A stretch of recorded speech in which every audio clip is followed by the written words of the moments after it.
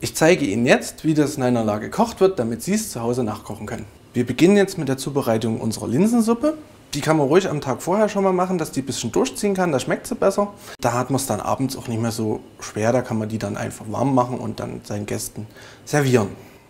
Dazu setzen wir erstmal unsere Linsen zusammen mit einer Rinderkraftbrühe auf dem Herd an. Die müssen eine ganze Weile kochen. Je nach Linsensorte, die man verwendet, sind es 20 bis 30 Minuten. Wenn wir ein schönes rauchiges Aroma reinbekommen, machen wir Baconwürfel dazu. Es ist ja nichts weiter als geräucherter Bauchspeck. Da haben wir ein bisschen Rauch. Den wir jetzt den Bacon fein gehackt haben, nehmen wir uns die Zwiebel. Ich habe hier mal eine rote genommen. Das hat aber nichts weiter zu sagen. Wenn man das möchte, kann man da auch lieber weiße nehmen.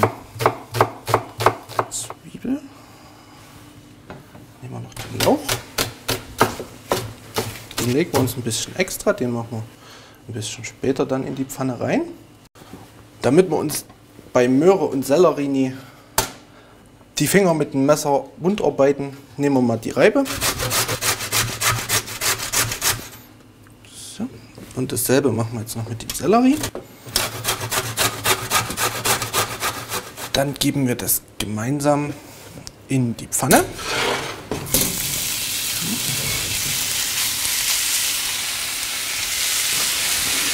Ich habe jetzt bewusst kein Öl vorher in die Pfanne gemacht, weil wir ja den Bacon haben und der gibt eine gewisse Menge Fett ab und das reicht, um das in der Pfanne anzuschwenken. So, die Linsen haben wir jetzt schon eine Weile gekocht. Jetzt können wir das, was wir hier vorbereitet haben, zugeben. Die Möhren und der Sellerie sind relativ zügig fertig, da wir die ja nur gerieben haben, da sind sie nicht so groß.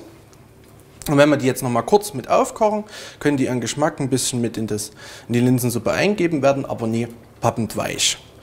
Und dann können wir das Ganze vom Herd runterziehen und aufs Anrichten warten.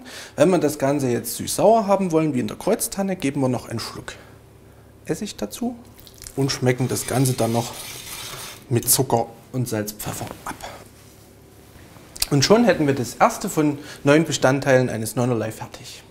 Alle Gastgeber und Rezepte unter www.topfgucker-tv.de